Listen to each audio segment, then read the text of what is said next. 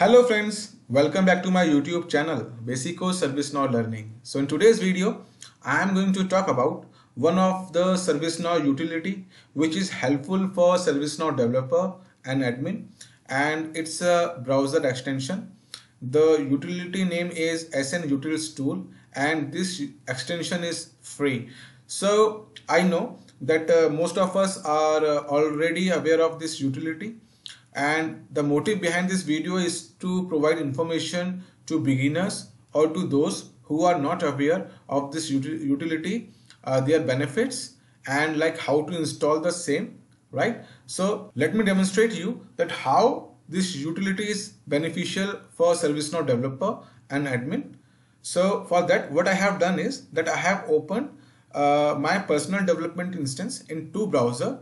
The first browser is Chrome and the another browser is Microsoft Edge. So in Microsoft Edge, I have not installed this extension and in Chrome, I have installed this extension. So first I will demonstrate the browser where we don't have this utility. So to demonstrate that what exactly we are looking for and how this utility will be beneficial once I will demonstrate the Chrome browser. So here we have this Microsoft Edge browser so let me open uh, incident form. Let me close this first. So let me open the incident form. Uh, click on open and open any of the incident. I normally choose incident because we all are aware of this, right?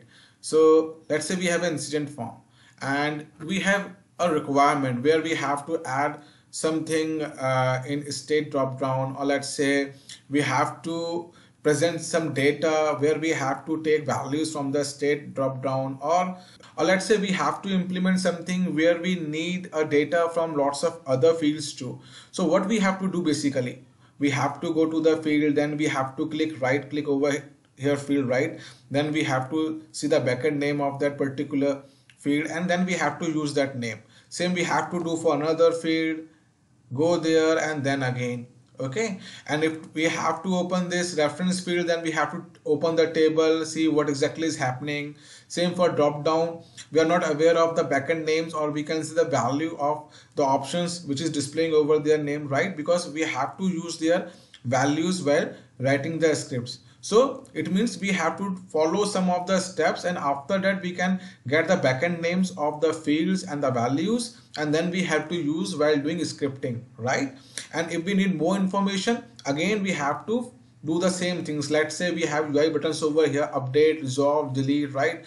And we have to see that what exactly written for those UI buttons. Then we have to go to UI action. We have to write the button name search particular record and have to check the code okay so th there are lots of steps which we have to follow so if that utility is available or installed in a particular browser then how it will be beneficial for us as a service ServiceNow developer. So let me demonstrate you the same in the Chrome browser. So here we have a Chrome browser. So same, let op let's open the incident form. See, I open the incident form over here. So here, see, I have a utility which is installed over here that is SN Utils tool for ServiceNow okay. So let me open one of the incident. So here we have an incident.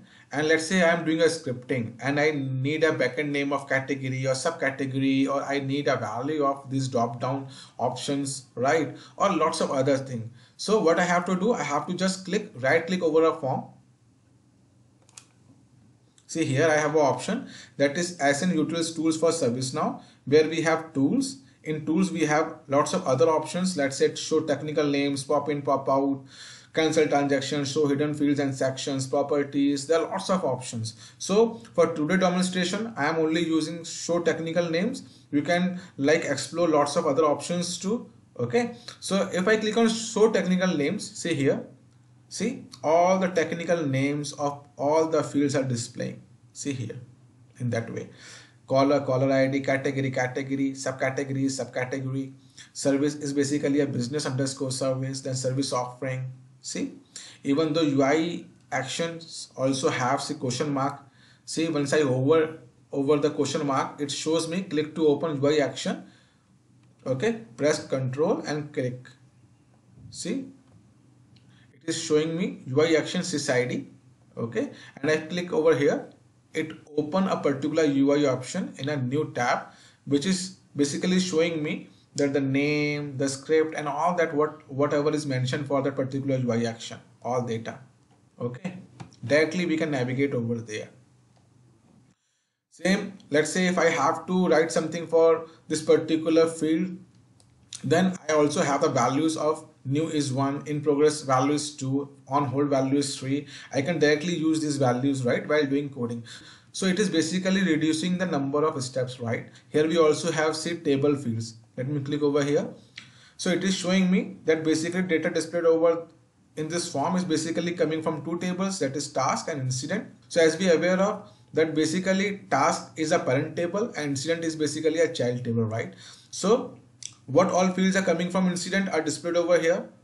What all fields are coming from task tables are basically displayed over here. Check mark over there right? And you can also find it over here. The value one is basically coming from incident and the value which is coming from task basically displayed with zero. Let's say see business service take it means it is displayed over the form. See it is basically coming from task and this field let's say caller id see one it is basically coming from the incident okay? Even though if you want to open this particular reference field just click control and open the same in another browser. Directly you can see okay what exactly the user is what all values are over there right? What exactly the things are what all roles are assigned to that particular user. Same for other reference field let's say uh, business services. So it is basically filtered with sysID in as a blank. So let me click on all over there. Means you can directly navigate to all the reference tables directly from here also. Even though you can get more informations of all the fields. Okay. So there is one more way. Uh, apart from like go and uh, searching the option here and clicking uh, in this particular technical name what you can do you can directly click double click on a form and this all the fields get open in front of you okay so this is the main benefit which basically as a service developer you will be getting after installing this utility. So see here if you click if you click over here you get one more window over here where will where you will get lots of other informations. So i suggest you to first explore the same. If you have any questions related to this utility about any of the option you can uh, write your uh, questions in a comment section so I will answer all those comments okay? See? So I believe now you know that how it this utility will be helpful for us right? Let me showcase you one another example. So I'll navigate to this edge browser now. I'll type over here let's say background script. So beginners basically write code over here in editor section right just to execute and see their code is working or not. So let me write one of the syntax where gr equals to new glide record right? See no suggestion nothing is happening over here right? So it's a bit difficult for beginners or the people those who are writing the code in background because none of the suggestion is given over here right in a editor section. So but after installing this utility let navigate let me navigate to the background script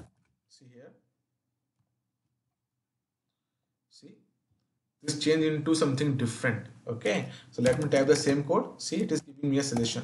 New glide record. See here everything is over here. See you can just write the code.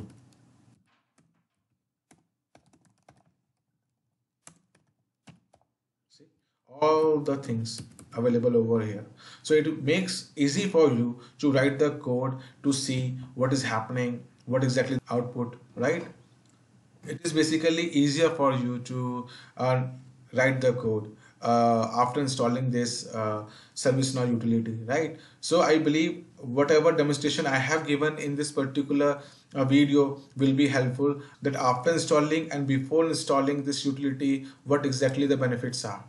Okay, so now the thing that how you can install this particular extension. So it's very simple to install. What you have to do, you have to go to Google you have to type like let's say sn utils for chrome or edge or firefox and you will get a link from there. You can directly install the same. So in chrome browser i have already this utility installed.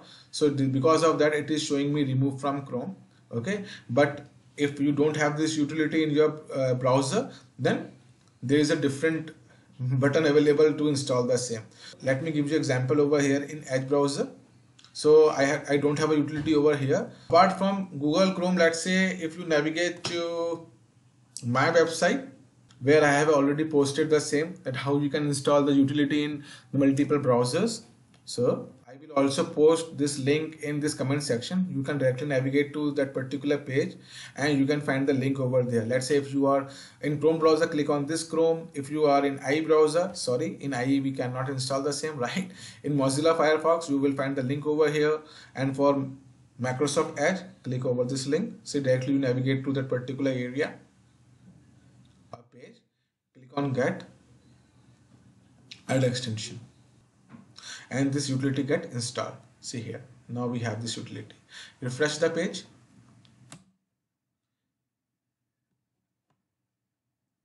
Let's see. Open the incident form. Over here. See?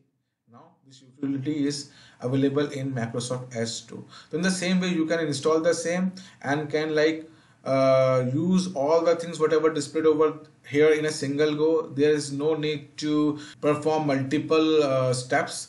So i believe this video is helpful for you. And i have posted the link to install this utility in comment section. You can click on that link and like install this utility on your browser. And if you think that this video is helpful for you then please do subscribe my channel. And if you find that this video is not helpful then please provide your suggestions and feedback below in comment section. Thank you friends. Have a nice day. Bye bye